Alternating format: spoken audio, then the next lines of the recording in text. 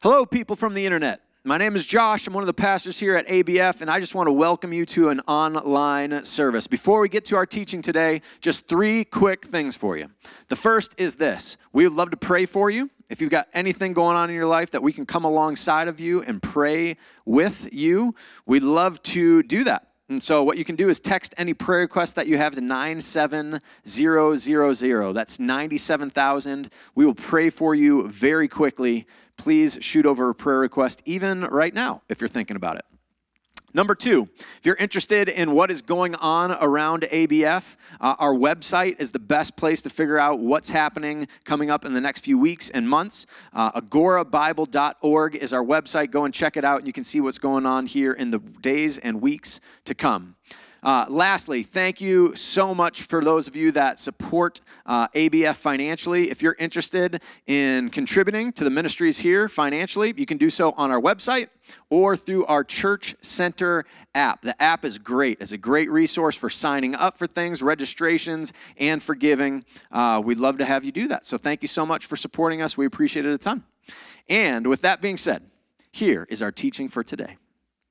Well, happy belated 4th of July. I hope you and your family had an amazing 4th. Uh, thank you, Josh, for those announcements. Uh, hi, my name is Chris, and I'm one of the pastors here at ABF. And thank you so much for uh, joining us for another online sermon here, online message here. We love that you get to join us. Uh, we so appreciate you. Uh, Pastor John uh, started off our summer series last week, Excess Baggage, with the topic of bitterness, and he did such a fantastic job. And uh, this week, second week, uh, we are covering jealousy. Jealousy, which can be an icky, icky word. Uh, so, question for you, those who are watching, raise your hand if you have ever dealt with jealousy. Yes, if you did not raise your hand, shame on you because no one's watching it. No, I'm kidding. Uh, everyone here, if we're honest, we have suffered with jealousy. We have dealt with jealousy. Uh, everyone has. And it's tough because jealousy, we hear that and we know it's bad. We know that being jealous of someone or something is bad, but yet, how do we fix it? How, how do we solve the issue of jealousy? If you've been around a little little kids, uh, you know uh, that jealousy can occur very quickly uh, and, and, all the time. Uh, I don't know you know if you know, but I have four kids. I have a 15 year old, a 13 year old, a 12 year old, and a cute little four year old. And I remember uh, it was about eight eight years ago, nine years ago, something like that. Uh, Caleb, our oldest. He was, I think, like six, something like that, really young. And then our our uh, our oldest daughter was a year and a half younger, and uh, Caleb had received uh, this brand new like toy. I don't remember what the toy was. I just remember the situation very well. And he had this brand new toy. He loved it. It was like the number one thing in his life, and he was with it every single day, like just constantly playing with it. And then remember one day, we we remember one day, Kinsey had his toy and she was playing with it and then it was just like out in the open and we're like hey if you leave it out in the open then you know it's fair game. Uh, and she's just playing with it and she's just you know doing everything she wants with it and then caleb was just like no that's my toy that's my toy i gotta have it i need it back i need it back and we're like well she's playing with it you know? And then all of a sudden we see through the doorway caleb goes and grabs the most beloved thing in Kinsey's possession. And again, I don't remember what it was, I just remember the situation. And Caleb grabs Kinsey's most beloved possession. And he walks by the doorway where Kinsey is, and he's just looking in the doorway where, where she is and where, we are. And he just starts throwing it up a little bit, catches it, turns back, sees Kinsey, sees uh, his mom and I, just, I don't know, just casually tossing her most beloved possession. And all of a sudden it happened. She turned and she said, I, that, That's mine, that's mine, I want that, I want that.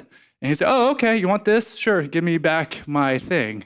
And they switched. And we weren't even mad, we weren't even upset. We were like, He is one, a genius, and two, a little bit of a manipulator. But it was kind of one of those things where we saw and we were like, that's kind of genius, but we saw that, man, the jealousy, that root of jealousy exists early on. And jealousy can be kind of cute with kids like that in, in that example, but jealousy at its core, it's not cute. And we know that. It's a dangerous piece of that excess baggage that we're talking about that can ruin relationships. Jealousy can send us down a vengeful path. Jealousy can derail our lives according to God's plan and can take away joy in our lives. And during our time in, in, the next few moments, I just want to challenge us to look at the root of jealousy. And I believe that the root of jealousy comes down to not fully grasping the idea that God is crazy for you, that He's crazy for you, that He's crazy for me, and He desires for us to have contentment with Him and His plan for us and what He has given us. So before we dive in, let me pray for us and we'll get to it. But Father God, we thank you uh, again just uh, for this time together, Lord, where we are able to freely open up your word and uh, to learn a little bit more about who you are and how you love us so deeply, Lord. Uh, we thank you, Lord, for the 4th of July, Lord. We thank you that we're able to celebrate with our friends and family, Lord. Uh, but more importantly, Lord, may we uh, just read your word and we can fully understand uh, your desire for us, that uh, you uh, want what's best for us, that you've equipped us with certain gifts and skills, Lord, and, and may we grow in contentment with that, Lord. We thank you so much for your ongoing pursuit for each one of us, Lord. We love you so much, we pray, Lord, that you just open our hearts to what you have us to learn today. We love you. It's your name we pray. Amen. All right, so jealousy, you guys probably know the definition, right? We, we start being jealous from early on, but the jealousy definition is this to feel, to feel resentment, bitterness, which is what Pastor John talked about last week, or hostility toward someone because they have something that you don't. Okay, it sounds kind of childish, but that's the definition of jealousy to feel resentment, bitterness, or hostility towards someone because they have something that you don't.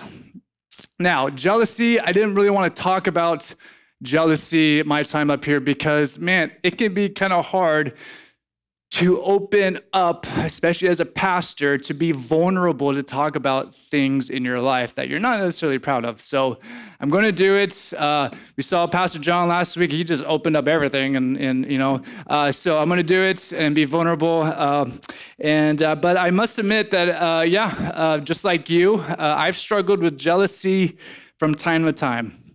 Uh, not as much as I used to, but man, I really struggled with jealousy. Um, I remember uh, when I first met my wife, Christina, um, I was 17 years old, and uh, she has four sisters uh, Lindsay, the youngest, who attends here at ABF, and she's married to Lucas, who is Josh's brother. Uh, there's Abby, who attend, uh, attends here at uh, ABF. She's second youngest. I'm giving you the whole family dynamic here. It'll make sense here in a second. Uh, she's married to Jake. And then we have Bethany, who is the second oldest. So Christina's in the middle. Uh, and she's married to Jeff. They live in Chicago. Jeff is Josh's cousin. Again, complicated, but I, can, I can send me a message if you need further understanding of that. Uh, but then lastly, the older sister, the eldest sister, her name is Bridget, and her husband is Kevin.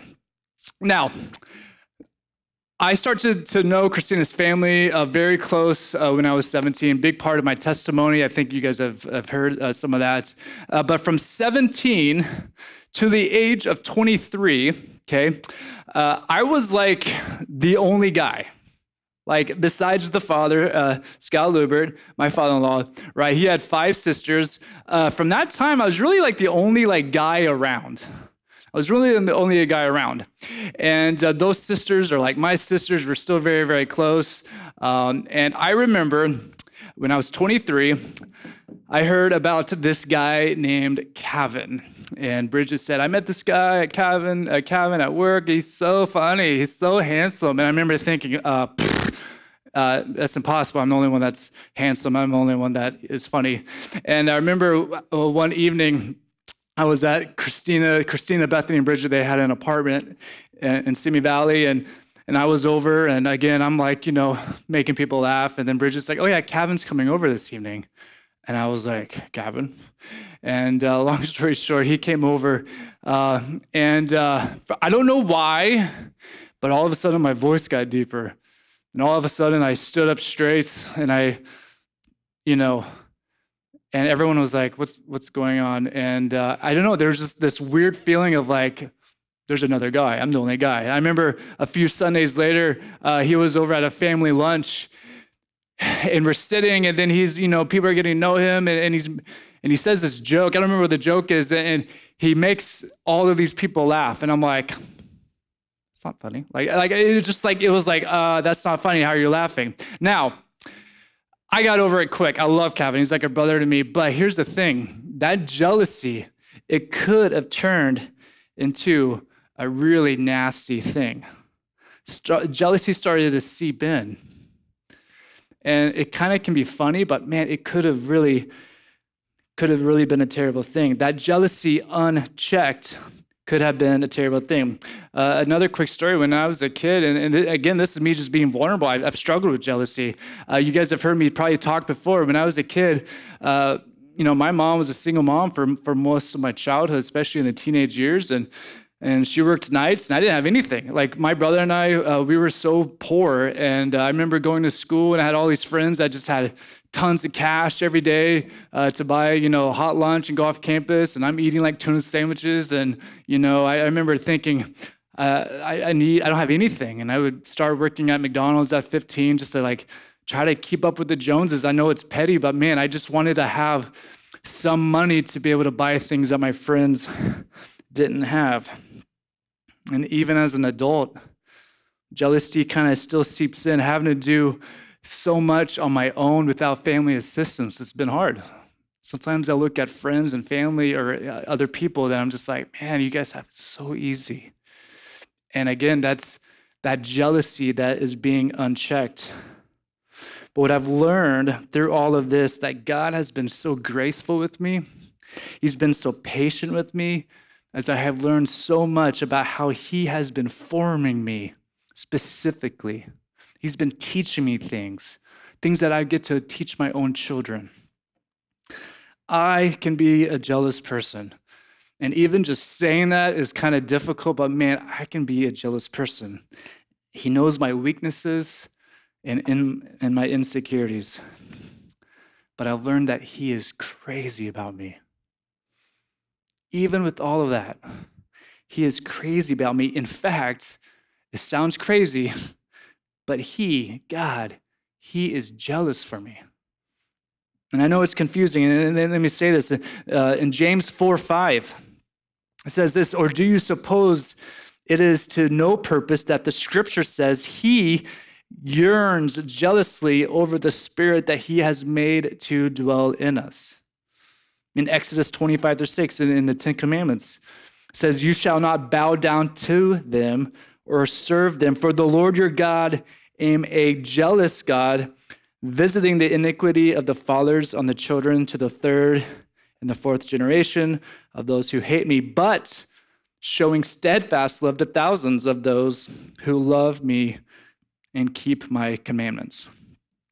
So you're probably like, okay, well, is jealousy good or bad? Uh, and I just kind of want to talk very briefly on this idea that there is two types of jealousy big picture jealousy. There's divine jealousy and human jealousy. Divine jealousy and human jealousy. God's jealousy, the divine jealousy, God's jealousy for us is described as a consuming fire. A consuming fire that is passionate, that is a passionate commitment to his children, to you and I. It's not sinful nature. God's holy, he can't be sinful, but a holy pursuit that is ongoing for us. A holy pursuit that is ongoing for us. Perfect, steadfast love. God is jealous for us because he doesn't want the world to have us. He doesn't want our flesh, our desires, our goals, our dreams, our passions to take us away from him.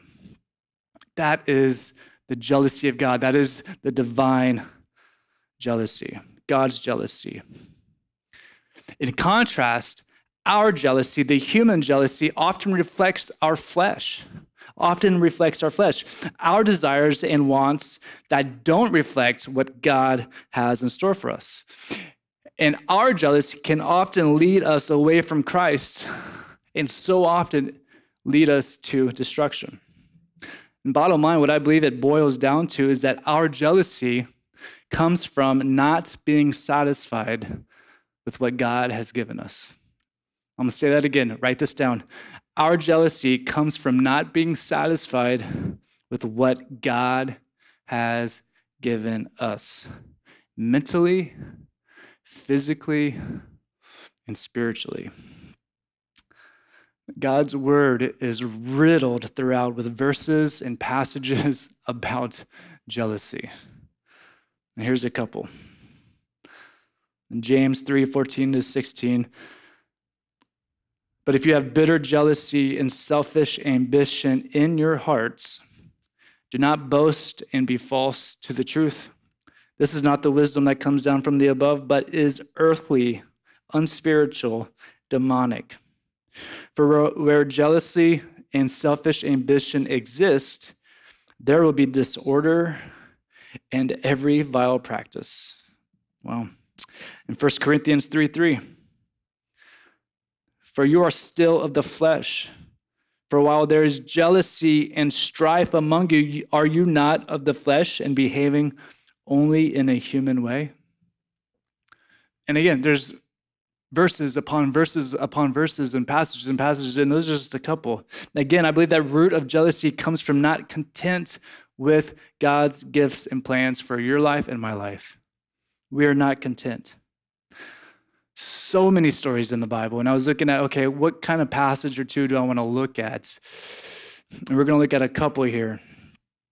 So many stories about jealousy, and the key thing is that without a turn of heart, in jealousy. Jealousy never ends well.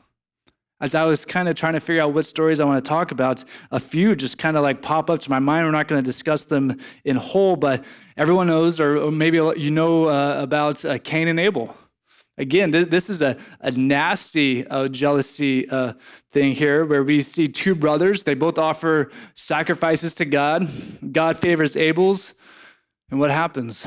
This rage, this jealousy overtakes the other brother, and it results in murder. We see the first murder in the Bible.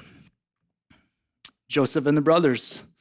We see that where, where Jacob, the father, favored Joseph, gave him a robe of many colors.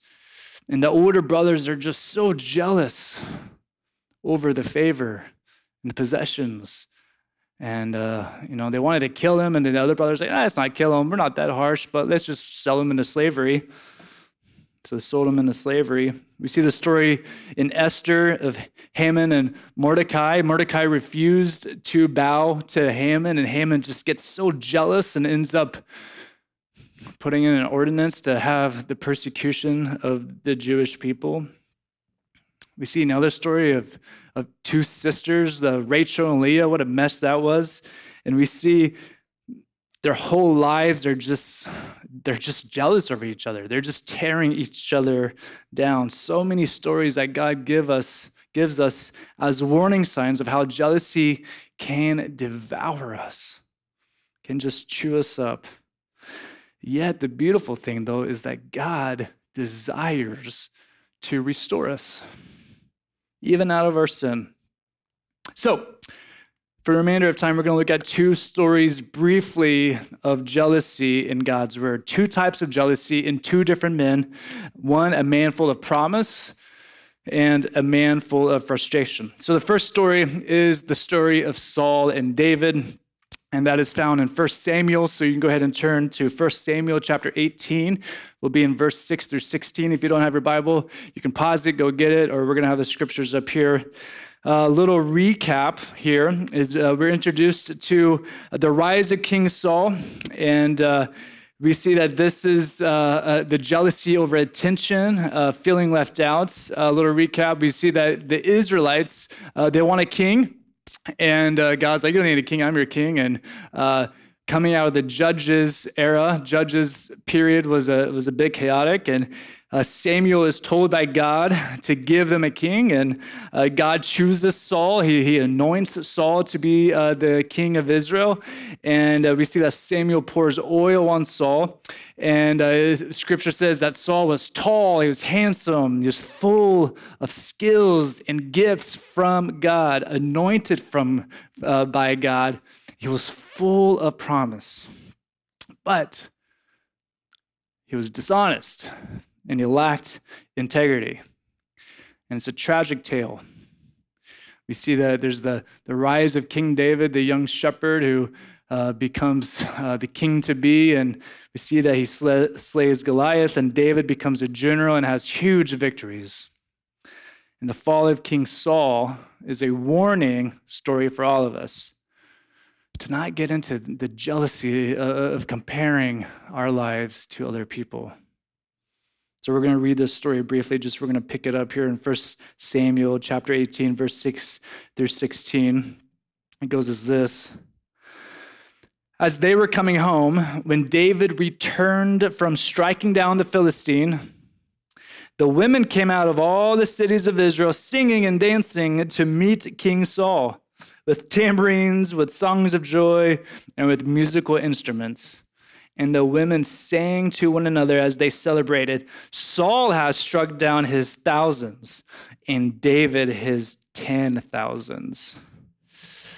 We can pause there. Uh, I don't know about you. Uh, I'm a competitive person, and uh, yeah, I could see how this could start to fill your body with a little bit of jealousy. We, it's it's kind of comical here uh, in a bit where, where, we see the women came out with tambourines and they're dancing and they're singing and they're like, oh, Saul did thousands, but David did ten thousands. David has this success that's coming about and and uh, people are hearing about it and women are singing his praises and we start to see that jealousy here it's an example of it can be a virus that starts very small, but it starts to spread and become deadly. In verse 8, and Saul was very angry. And this saying displeased him. He said, They have ascribed to David ten thousands, and to me they have ascribed thousands. And what more can he have but the kingdom? And Saul eyed David from that day on. Again, we see that, that King Saul is starting to compare with David. Thousands and ten thousands, and, and what more can he have? And, he, and he's kind of doing this petty thing, he's comparing. It's a snowball effect. The more we think about what we don't have, the more we become obsessed. Think about that. I mean, isn't that so true and so sad? So often we think about more of what we don't have and what someone else has more than what we have. We start to become invaded with thoughts and what do I need to do to get to that, to get to where they are? verse 10 the next day, a harmful spirit from God rushed upon Saul, Saul, and he raved within his house while David was playing the lyre. So basically, the harp. And, and as he did day by day, and Saul had his spear in his hand, and Saul hurled at the spear, for he thought, I will pin a David to the wall. But David invaded him twice. Okay, a couple of things stand out here. One, people are always like, the Bible's boring. Are you kidding me? Like, that is like, it's almost like you don't believe what you just read. Here we go. We have David just playing the harp, and all of a sudden Saul has a massive spear in his hand, and he thinks about, hey, I'm going to pin him to the wall, and he hurls it, and then we see how quick David is. Like he's impressive. Like he throws that harp down and, and is able to evade him. One quick thing I want to kind of just touch base on it said that the next day a harmful spirit from God rushed upon Saul. So basically, it was allowed from God. This harmful spirit was allowed from God. God removed his spirit from Saul's life. And when that happens, right, we can have harmful, harmful spirits put upon us. God withdrew his spirit from Saul. So David evaded him twice. Verse 12 Saul was afraid of David David wasn't even king yet. He's just getting all these praises and he's obviously he's very fast, right? But this jealousy is just spreading rapidly with Saul. Saul was afraid of David because the Lord was with him, but had departed from Saul. So Saul removed him from his presence and made him a commander of a thousand. And he went out and came in before the people, and David had success in all his undertakings, for the Lord was with him. And when Saul saw that he had great success, he stood in fearful awe of him.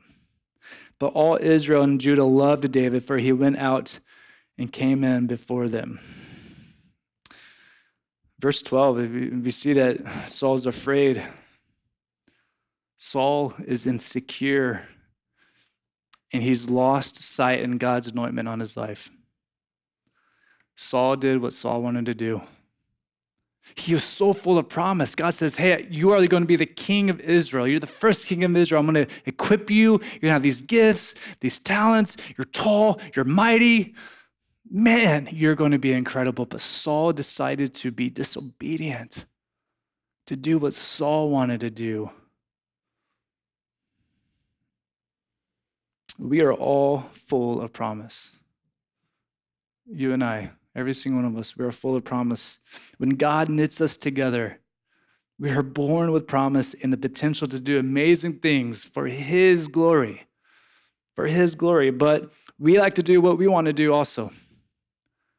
We like to be disobedient. We like to do our path versus God's path. And a lot of time, with the flaws not laid out before the Lord, our story can be a tragic story as well. And jealousy overtook Saul. And it's so sad because Saul noticed that same anointment from God on David. David had success on the battlefield, won people over, and had favor with the Lord. And Saul just stopped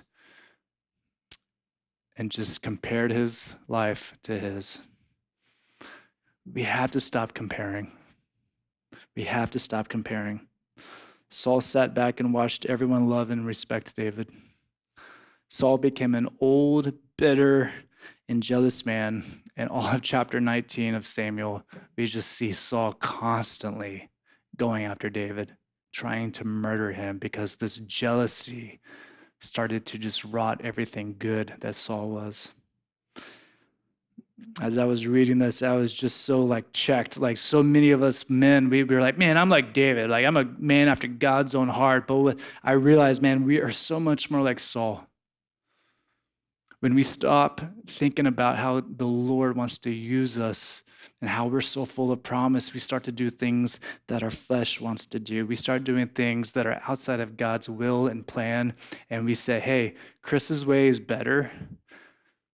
And we go away from God. We compare our lives to each other.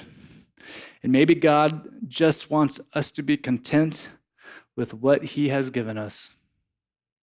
Maybe He just wants us to be content with our jobs, with our success level, with the money in our account, to be obedient in those skills and traits that He's given us, because we are each uniquely made a masterpiece as God calls us.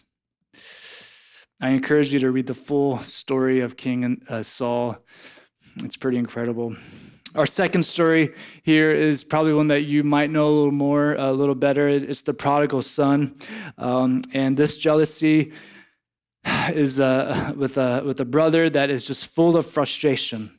We see just, he's just not content, full of frustration, and jealous of, of those that get what they don't deserve. That's, that's that in a nuts, nutshell.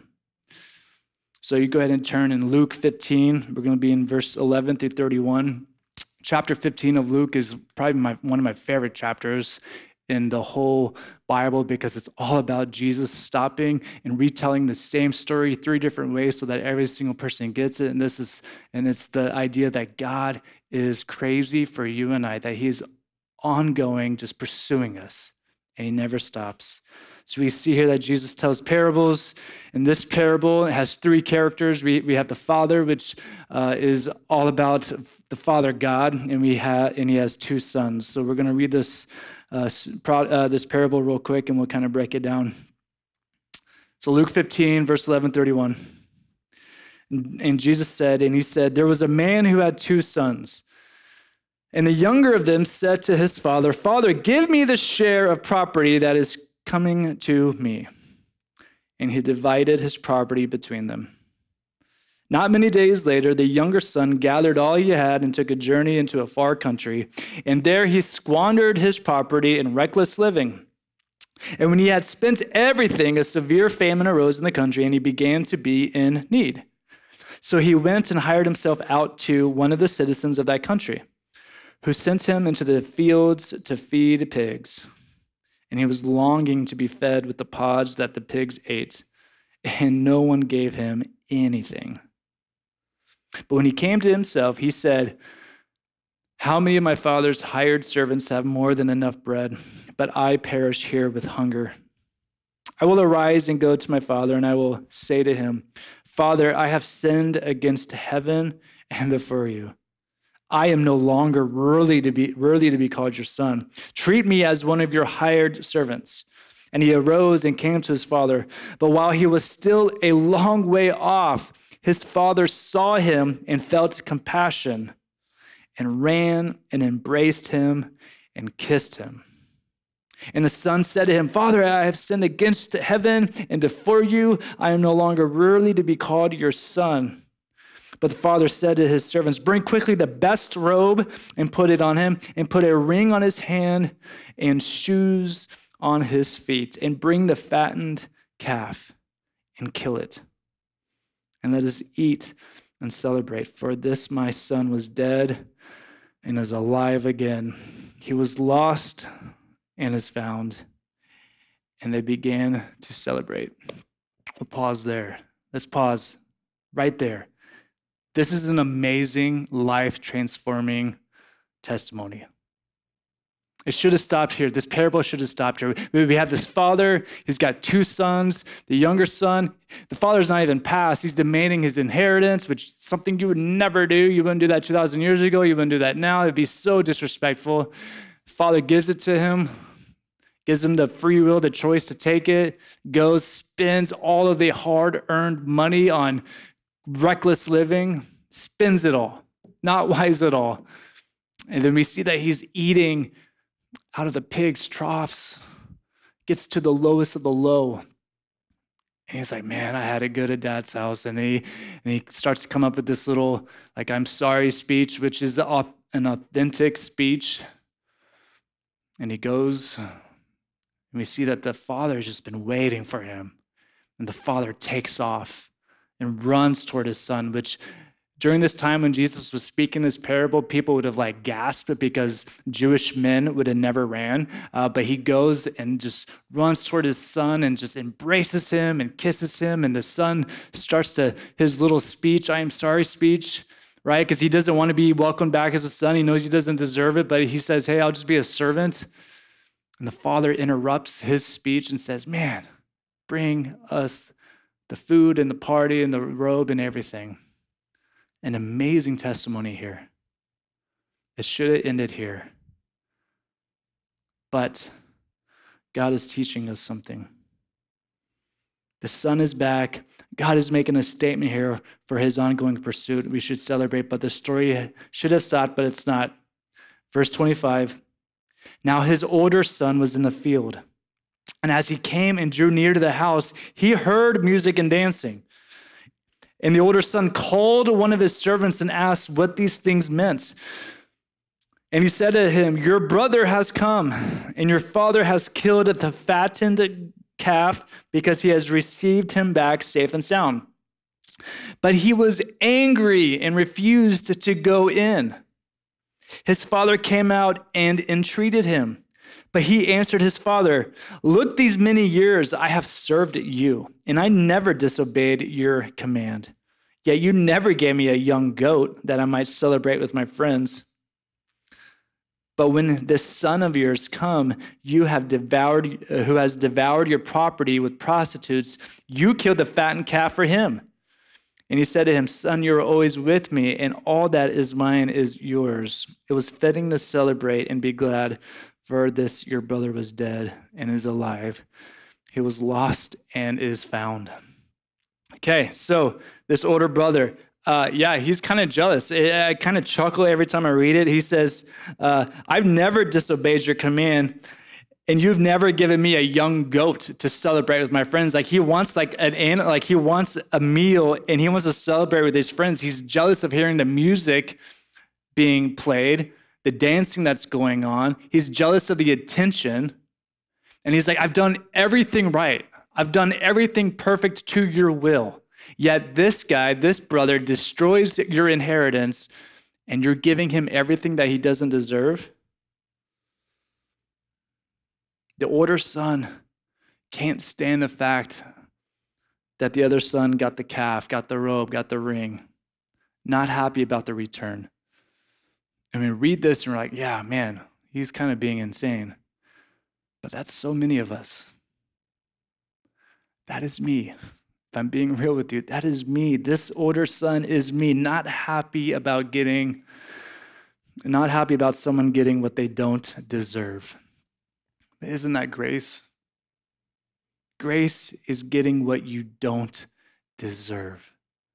And God is all about grace. And the bottom line is that none of us deserve God's grace.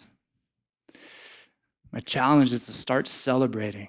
We see here that the son refuses to celebrate on the return of the prodigal son. Instead, is angry, is jealous. But man, to start celebrating, celebrate other people's awards, their achievements, their gifts. Celebrate those who have received God's grace. I know that's a tough one sometimes. We love the idea of grace when it's for us, but when, we see other people getting things that they don't deserve, man, it can be a tough pill to swallow. I love this quote by Timber Hawkeye. Jealousy is the result in counting other blessings instead of your own. Jealousy is the result and counting other blessings instead of your own. Is that true or what? Sometimes I look at others, their things, their success, their achievements, their grace, all of that more than mine. It's actually kind of sad how often, how, how much more I feel like I'm obsessed about other people's achievements than my own. And again, I told you from the beginning, man, I, I struggle with jealousy. I'm, I'm human. God's working on me. And but man, what if I spend more time actually just looking at what God has given me? Because He's been so good to me. He's been so good to me. So as I close, I want to ask you the question Are you a jealous person? It's a tough one to answer. It's a tough one to answer. Are you a Saul? Are you jealous of other people's praises and achievements and attention? And are you starting to drift away maybe from God's promise on your life? Or maybe you're also like Saul, where you're like, man, I'm jealous of the fire that that person has for the Lord, and mine has drifted away. Are you spending too much time constantly thinking about what other people think about that person? Are you going insane? God does not want that for you. Or maybe that's not you. Maybe you're like the older brother in Luke 15 of the prodigal son, the parable. You feel like you're not getting what you deserve. You've done everything right. You've hit all your deadlines. You've pursued everything perfectly. And yet, you're not getting promotions, you're not getting favor, you're not getting bonuses, or, or you fill in the blank, or, or you're not getting the things in life that you felt like you should have. Grace. Are you jealous of other people's grace? People getting things that they don't deserve. Well, there's some traits of jealousy to really make you think about where you're where you are at in your jealousy meter. And maybe this is a good heart check. It's a heart check for me. Hopefully, it's a heart check for you. But here's some of the top traits of jealousy. And as I read these, man, ask yourself, man, am I struggling in this? Am I struggling in, the, in one of these traits of jealousy? And if you are, maybe it's time to give it over to the Lord. Maybe, maybe it's time to, to put a cap on it before things start to get worse and it starts to spread. So, some traits of jealousy here, and, and, and we'll close up. Diminish achievements. Do you find yourself diminishing other people's achievements? Are you passive aggressive to a person or people that you're jealous of? Do you find yourself not celebrating other people's successes? Are you the quiet one in the group when someone is going about talking about their, uh, their, their success? Are you self doubting yourself? Are you self critical? You start to overthink, like, man, am I doing something wrong? Like, what do I need to do to get to that place? What am I missing? What am I not doing? What am I not hitting? Do you obsess about that? Do you have obsessive thoughts just in general or, or behavioral uh, issues toward that person? Again, I said it earlier. Do you obsessively think? Maybe you don't want to call it uh, obsessive, but do you think more about other people's lives in terms of wanting what they have according to your or, or instead of your own? Do you have hostility to a person? Do you need constant validation or reassurance from others? Are you angry at all? Are you envy, bitter, insecurity? And these are just to name a few. And my heart is that, man, you hear these, and hopefully one of those hits a trigger, and you're like, okay, I don't like it. How do I resolve this? How do I get jealousy out of my life? How do you overcome jealousy? It's not easy, yet it is. We have to strive in security. We have to strive in security. It comes down to knowing who you are and who you belong to. Knowing who you are and who you belong to. Being content with how God has made you and how He has blessed you. Remind yourself that, that God is for you. He's not against you. I know it sounds church like cliche, but it's so true. We see his scriptures screaming out that he's just constantly pursuing you. He wants to spend forever with you, which is incredible, right? He wants to spend forever with you. He's it's constantly just crazy about you.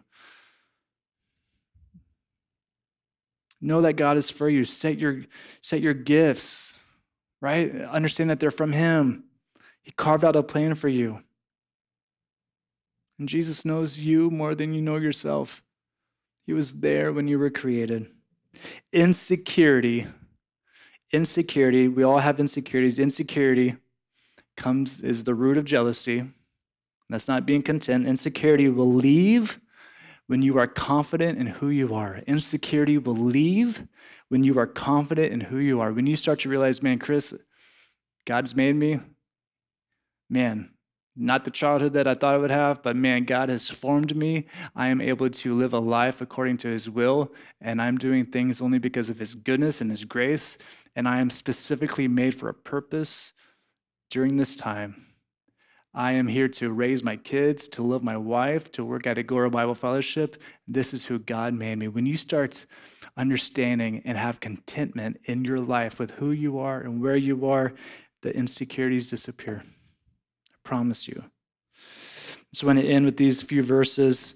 1 Peter 2 9 through 10, second chapter, verse 9 through 10. But you are a chosen race, a royal priesthood, a holy nation, a people for his own possession, that you may proclaim the excellencies of him who called you out of the darkness into his marvelous light.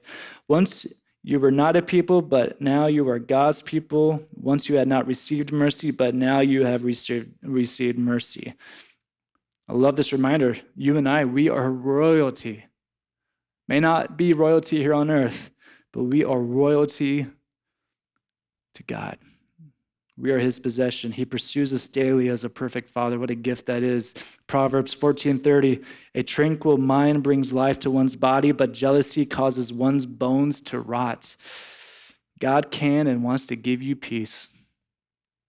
God wants to give you peace. He has equipped you specifically for a purpose. He has equipped me specifically for a purpose. And my purpose looks different from that neighbor, from that person. Your purpose looks different from your neighbor and that person. And that's okay. Be content in that. The last verse here, Proverbs 27 4. Wrath can be fierce and anger overwhelms, but who can stand up to jealousy? Jealousy may come, but with God, you can claim victory over it. Be confident in who you are. Understand that God is for you. Strive in security. Strive in security. Strive for contentment. This week, I'm going to challenge you. If you are wrestling with this, celebrate someone's victories, celebrate someone's accomplishments. Do it. It might be hard. You might be like, oh, so proud of you. Like, just do it. You have to start practicing that. Because the reality is, and this is something I've learned, you never know what God is doing in someone else's life. I think so often I think, man, I'm the only one that matters here on earth. My story, my desires, my will, right? God is only working through me. But no, man, He is working through every single person, every single one of us. He's working through all of us, and we do not know the story that he is that he's weaving together for his purpose. Let me pray. Father God, we thank you for uh, just this time to talk about something that is uh, that can be hard to, to, talk about. This idea of jealousy, this this uh, this issue that so much of us uh, struggle with. Lord, we thank you, Lord, that there are examples, even though they're tragic stories in your word, Lord, but you have them there for a purpose so we can learn that uh, jealousy um, can lead to destruction, Lord. And, and uh, you desire for us to draw close to you, to be happy, to be content with how you've made us. Lord, we thank you, Lord, that you love us, that your grace is for every single person, Lord. And we pray, Lord, as we, uh, yeah, throughout this week, Lord, that we just, uh, any jealousy that we start to feel, Lord, that it gets uh, um, checked and we uh, just pursue you, Lord, that we hand it over to you, Lord, because we know that you, that you make us confident. When we understand who we are in your eyes, Lord, that comes with security, Lord. We love you so much. It's in your name we pray. Amen. Have a good week.